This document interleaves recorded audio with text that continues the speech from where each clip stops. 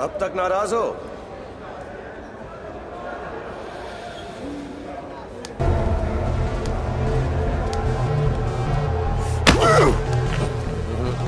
मैं तुमसे दोस्ती का हाथ मिलाने आया। जो हुआ उसे भूल जाओ। क्या भूल जाओ कि पिछले पाँच सालों से मैं इस पिंजरे में तुम्हारी वजह से हूँ। तुम यहाँ अपने गुरूर की वजह से हो वरदान। तुम्हें वक्त और हालात के साथ बदलना नहीं आता। अगर तुम्हें आता तो तुम यहाँ क्या कर रहे हो? मैं यहाँ तुम्हारे लिए आया हूँ वरदान। एक ऑफ़र लेकर। अच्छा मेरे पास भी एक ऑफ़र है। क्यों ना मैं तुम्हारे टुकड़े करके जेल के कुत्तों को खिला दूँ? उसमें ना मेरा कोई फ़ायदा होगा ना तुम्हारा वरदान। सिर्फ़ कुत्तों का होगा। और कुत्ते मुझे बिल्कुल पसंद नहीं है।